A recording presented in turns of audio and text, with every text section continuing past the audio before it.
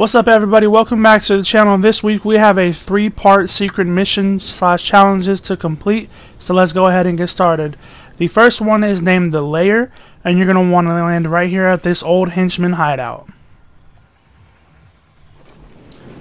And you're going to want to make your way to the very bottom of the hideout into the little tiny secret room.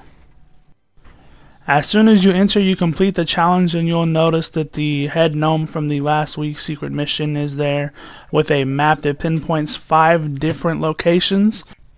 The first closest one we see is at Holly Hedges, then we have Sweaty Sands, Craggy Cliffs, Steamy Stacks, and the last but not least, Misty Meadows. This part of the mission has been named the Trap and we must disarm five traps. In order to interact with these five locations, you do have to be inside a regular solo, squad, or duos match. You cannot be inside Team Rumble. It will not allow you to interact.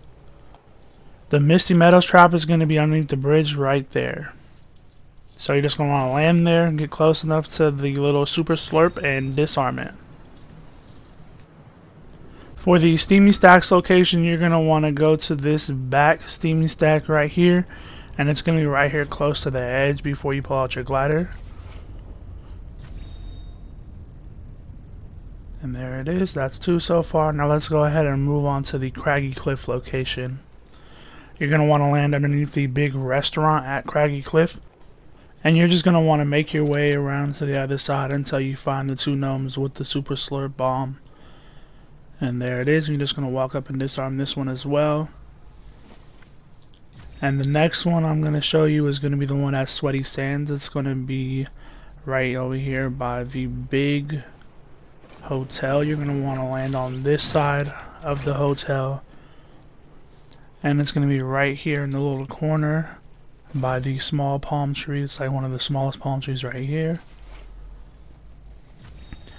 And then the last but not least, they're going to have the location that is at holly hedges inside the little nursery right here.